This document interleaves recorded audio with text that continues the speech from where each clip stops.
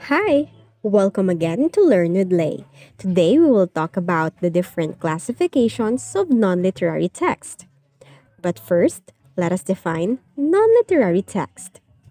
Non-literary text is a text written to convey information, teach, and explain ideas.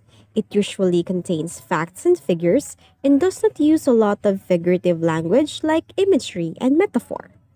Non-literary text has three classifications.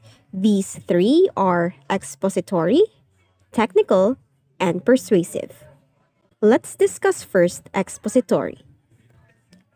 Expository is a type of non-literary text that provides a clear and focused explanation of a particular topic, process, or set of ideas. It aims to describe, inform, analyze, and explain.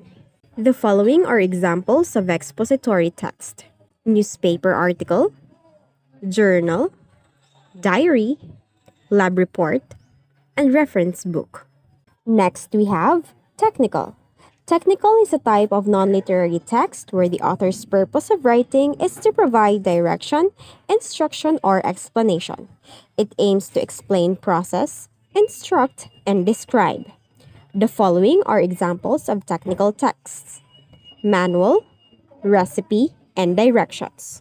And lastly, we have persuasive. Persuasive is a type of non literary text that presents a point or a view and aims to persuade a reader. A persuasive text can be an argument, exposition, discussion, review, or advertisement.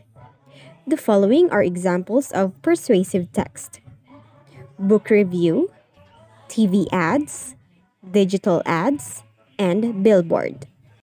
And that's all for our topic. Continue learning!